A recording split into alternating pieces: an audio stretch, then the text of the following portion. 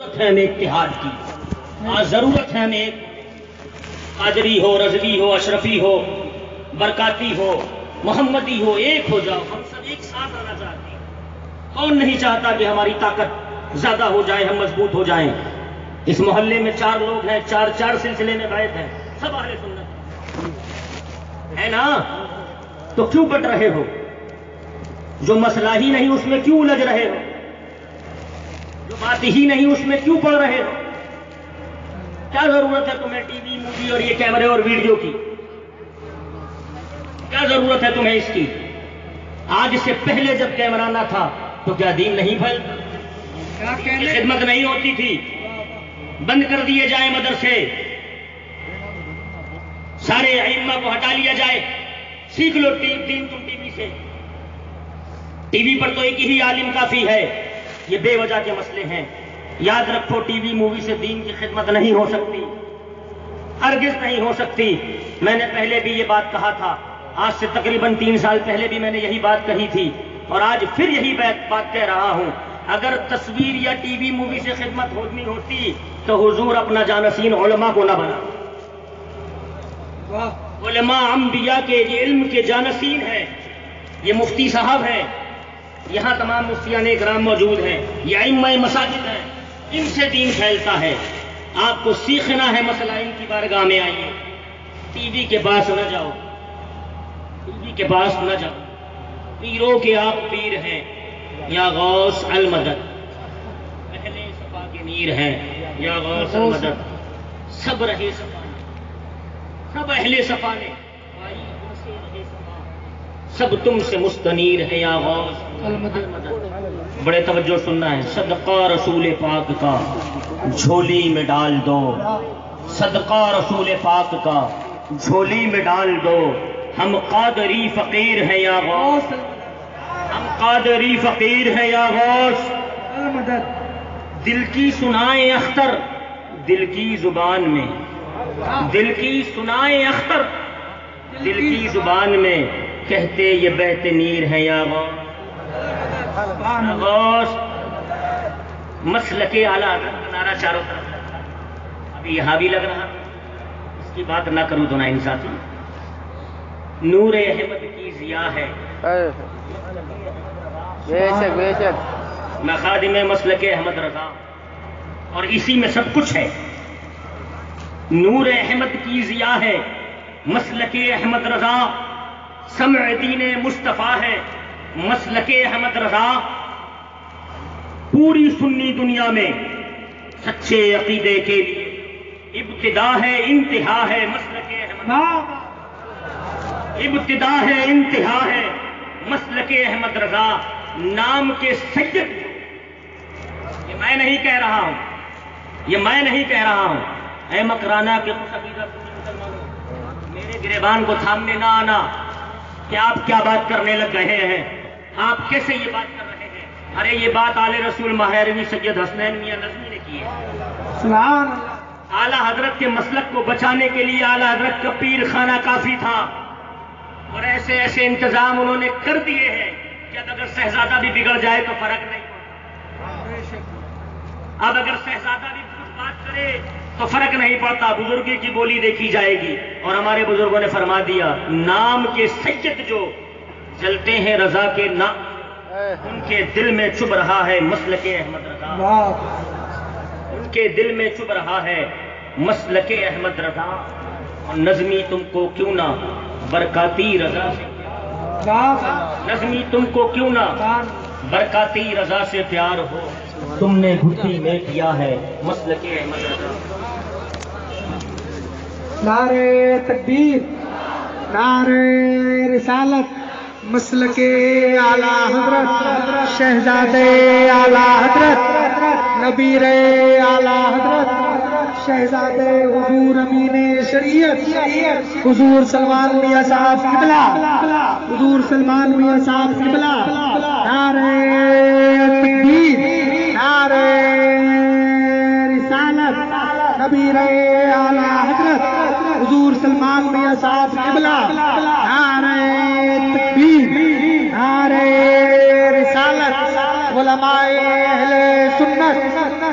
جشن دستار حفظ و قرآن نعرہ تکبیر، نعرہ رسالت ماشاء اللہ نبیر اعلیٰ حضرت شہزاد حضور امین شریعت، حضرت علامہ الحاج شاہ، مفتی محمد سلمان رضا خان صاحب قلعہ اللہ نورانی کی آمد آمد ہو گئی ہے۔ آپ حضرات اپنی ماتی کی نگاہوں سے حضرت کے نورانی جلبوں کو ملاحظہ فرمائیں اور حضرت کی گفتگو کو سماعت کریں۔ آپ اپنے ماتھے کی نگاہوں سے دیکھ رہے ہیں۔ سرکار اعلیٰ حضرت خانوادے کا شہزادہ شہزادہ امین شریعت، داماد علوم شریعہ حضرت علامہ مولانا سلمان صاحب اللہ۔ جلوہ ہیں، اب مجھے زیادہ گفتگو کرنے کی ضرورت نہیں۔ چند منٹوں میں میں آپ کے درمیان سے رخصت ہو جاؤں گا۔ اور شعر و شاعری پر گفتگو چل رہی ہے۔ اسی زمین پر کچھ سنیں۔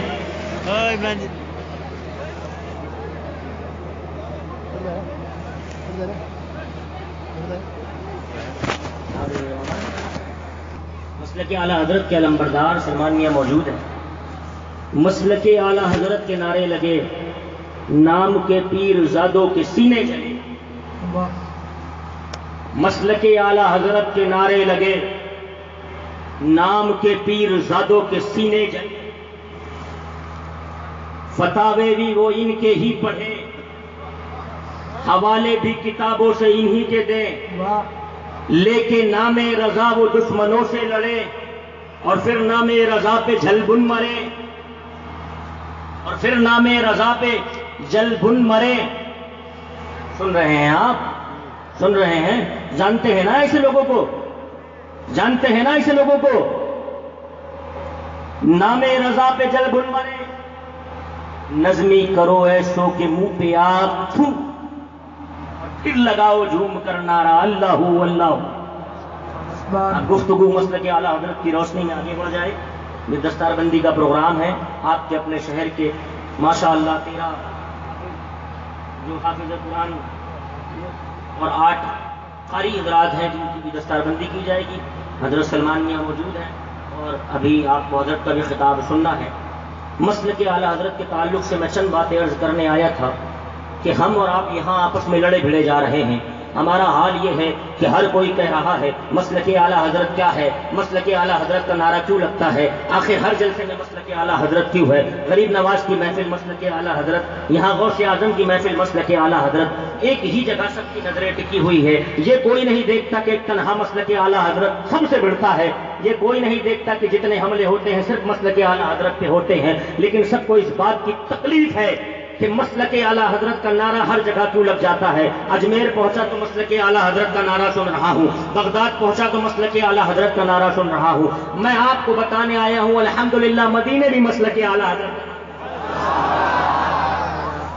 اور اعلیٰ حضرت کا نعرہ اس لیے لگتا ہے کہ مسلک کا مطلب ہے راستہ۔ اور امام احمد رضا کا راستہ وہی ہے جو ہمارے تمام بزرگوں کا راستہ مخدوم اشرف کا فیضان اعلی حضرت مہرینا کا فیضان اعلی حضرت، آلپی کی عطا اعلی حضرت مسعودی کی نظر اعلی حضرت، ازمیر کی عطا اعلی حضرت، غوث اعظم کا نائب اعلی حضرت۔ کیوں نہ لگے نارا مسل کے اعلی حضرت کا؟ اور الحمدللہ فقیر سنتا بھی ہے، لگاتا بھی ہے مدینت المنورہ میں مسل اعلی حضرت۔ سبحان اللہ۔ مسئلہ کے اعلیٰ حضرت کے حوالے سے میں ہندوستان میں رہتا تھا اور ہندوستان کے حالات دیکھے مجھے لگا عرب میں مسئلہ کے اعلیٰ حضرت کو کوئی نہیں جانتا۔ میں اپنی ذہنی گفتگو کر رہا ہوں جب میں باہر نہیں گیا تھا۔ مسئلہ کے اعلیٰ حضرت ہم ہند والوں کے لیے ہے۔ عرب میں اعلیٰ حضرت کو کون جانتا ہے؟ کون نہیں جانتا؟ آئیے آپ کو وہاں کا واقعہ بتاتا ہوں۔ میں شاہی مسجد الفرقان میں خادم کی حیثیت سے ہوں اور اس مسجد میں میں جب اسٹارٹ میں شروع میں گیا تو بڑے الگ ماحولات تھے معاملات تھے۔ وہاں کی حکومت جیسے ابھی ناظم صاحب نے کہا کہ حضرت سعودی عربیہ میں رہتے ہیں۔ میں نے کہا نہیں نہیں میں عرب شریف میں رہتا ہوں سعود کے باپ کا عرب نہیں۔ عرب رسول پاک کا ہے۔ جب حضور کے زمانے میں نام نہ بدلی ہوا تو ابھی بھی نہیں۔ حکومت ان کے قبضے میں ہے۔ حکومت ان کے قبضے میں ہے۔ وہاں ایک سوڈانی آیا۔ سوڈان کا رہنے والا ہے۔ مجھ سے ملاقات ہوئی۔ سلام کلام ہوا انت پاکستانی لا آنا ماشاء اللہ سڈانی کا کلام ہے آپ پاکستان کے ہیں۔ میں نے کہا نہیں میں ہندوستان کا ہوں۔ کہا چہرہ پاکستانیوں سے ملتا ہے۔ میں نے کہا ہمارا ہی حصہ ہے کٹ کے گیا ہے ادھر۔ انہوں نے کہا آپ میں اپنی بات کر رہا ہوں ممبر رسول پر۔ انہوں نے کہا آپ ہندوستان میں کہاں کے ہیں؟ میں نے کہا ممبئی کا ہوں۔ انہوں نے کہا آپ شہر بریلی کو جانتے ہیں۔ بات کو عرب میں ہوں وہ رہنے والا سوڈان کا ہے میں ہندوستان کا ہوں۔ کہہ رہا ہے بریلی کو جانتے ہو۔ میں نے کہا الحمدللہ جانتا ہوں۔ قائمت رضا کو پہچانتے ہو۔ میں نے کہا پہچانتا ہوں۔ سنیت کی شان ہے میرا امام۔ سنیت کی پہچان ہے امام احمد رضا خان۔ سیدوں کی جان ہے احمد رضا خان۔ ہمارا نگہبان ہے احمد رضا خان۔ ہمیں اس سے پیار ہے۔ ہمارا امام نرالا ہے۔ تعریف سنی خوش ہو گیا۔ تعریف سنی خوش ہو گیا۔ کہا اچھا یہ بتاؤ امام احمد رضا کے بعد کون تھے؟ میں نے کہا سرکار حجت الاسلام تھے۔ کہا ان کے بعد کون تھے؟ میں نے کہا حضور مفتی اعظم تھے۔ کہا سنا ہے آج بھی کوئی شہزادہ ہے۔ عرب والے پہچانتے ہیں مکرانا والے تم نہیں جانتے؟ کہا سنا ہے آج بھی ایک شہزادہ ہے۔ میں نے کہا اسی کا غلام یہ بندہ ہے۔ جب تک بکے نہ تھے کوئی پوچھتا نہ تھا تم نے ہمیں خرید کر انمول بنا۔ سبحان اللہ۔ میرے پیر و مرشد سرکار حضور تاج الشریعہ کے ہاتھ میں جب سے بکا ہوں کامیابیاں قدم چومتی ہیں۔ الحمدللہ سما الحمدللہ۔ ابھی حضرت فرما رہے تھے مفتی مقیم مقیم مقیم القادری صاحب قبلہ کہ تمہیں لندن برطانیہ اور فلا فلا کے رقص قدم پر نہیں چلنا۔ میں نے کہا یہی بات تو تاج الشریعہ بھی سمجھا رہے ہیں۔ تو کہ تہذیب فرنگی توڑ دو مومنو۔ تو کہ تہذیب فرنگی توڑ دو مومنو۔ تیر کی انجام ہے یہ روشنی اچھی۔ بے شک۔ اور یوں نہ ہوتے اسیر ذلت تم۔ یوں نہ ہوتے اسیر ذلت تم۔ سنتے گر ہوشیار کی باتیں۔ یوں مر نہ جانا بتائے دنیا پر۔ سن کے تم مالدار کی بے شک۔ مالدار کی باتوں میں آتے ہو۔ علماء کی باتیں سننا چاہیے۔ لیکن تمہیں علماء بھی وہ پسند آتے ہیں جن کا چپا اچھا ہو جن کی دستار لمبی ہو جن کا امامہ بڑا لمبا ہو۔ قسم کھا کے کہتا ہوں جبے پہ مت جانا صافے پہ مت جانا رومال پہ مت جانا۔ یہ دیکھنا جو حق بیانی کر رہا ہے اس کے پیچھے چلنا ہے ہمیں اور آج کے دور میں کوئی بھی مسئلہ ہو جتنے بڑے ہیں سب ہمارے۔ ہیں میں جانتا ہوں یہاں آنے سے پہلے بہت فون آئے ہیں میرے پاس۔ آج کا ماحول ایسا ہے کہ ہر کوئی فتنے کو ہوا دیتا ہے۔ میرے مکرانہ آنے سے پہلے میرے پاس ستر فون آئے ہیں۔ ان فون کالز کا سب کا ایک جھٹکے میں جواب دے رہا ہوں۔ ہر کوئی فتنے کو ہوا دیتا ہے، بات بے بات کو سو بات بنا دیتا ہے۔ سب کس کس مقصد سے فون کرتے تھے میں سمجھ رہا ہوں۔ یہاں کچھ لوگ اسی فتنہ پرور مزاج کو لے کر آئے ہوئے ہیں۔ جو چاہتے ہیں کہ گفتگو کچھ ایسی ہو کہ ہمیں مزہ آئے۔ میں نے کہا تمہیں مزہ نہیں آئے گا ہم اہل سنت اہل محبت ہیں۔ اور اہل ادب ہم بڑوں کا ادب کرنا جانتے ہیں۔ اور ہمارے اپنوں میں اگر کوئی ایسا معاملہ ہو جائے تو اسے ہم آپس میں سلجھانا بھی جانتے ہیں۔ حضور کی ساری سنتوں پہ عمل کرتے ہو یہاں میں دیکھ رہا ہوں سنی حضرات کو۔ ایک سنت اور خیر خواہی بے شک آج جس سے دور ہو، اپنے بھائی کی خیریت معلوم کیا کرو، خیر خواہی کیا کرو، یہ بھی حضور کی سنت ہے۔ اور کسی کے عیبوں کو تلاش نہ کرو، اس کے عیبوں کو بیان نہ کرو۔ محبت سے پیش آؤ، اپنا ہی تو ہے نا۔ اپنا ہی تو ہے نا۔ شدت کفار پر ہے، محبت اپنوں پر ہے۔ اپنوں سے اپنوں سے اگر کوئی معاملہ ہو جائے، تو ان کی بارگاہ میں عریضہ بھی پیش کر دیا جاتا ہے۔ اگر معاملات بن جائے تو ان کی بارگاہ میں جھک بھی جایا جاتا ہے۔ اور میں نے یہ کام پہلے ہی کر دیا اب بار بار اگر آپ چاہتے ہیں اسی مسئلے پر گفتگو ہو، تو یہ مجھے اچھا نہیں لگے گا۔ وہ بھی میرے اپنے ہیں، میں بھی آپ کا اگر ایک معاملات ہو گئے، آپ بھی سمجھ رہے ہیں جذبات کے معاملات تھے۔ آپ بھی سمجھ رہے ہیں، میں بھی سمجھ رہا ہوں۔ اس پر گفتگو ہو گئی ہے اور اس کا اثر بھی ہوا ہے۔ کیونکہ جب میں دامن گیرا پروگرام میں گیا تھا، تو اس کے بعد وہاں ان کی بھی آمد تھی۔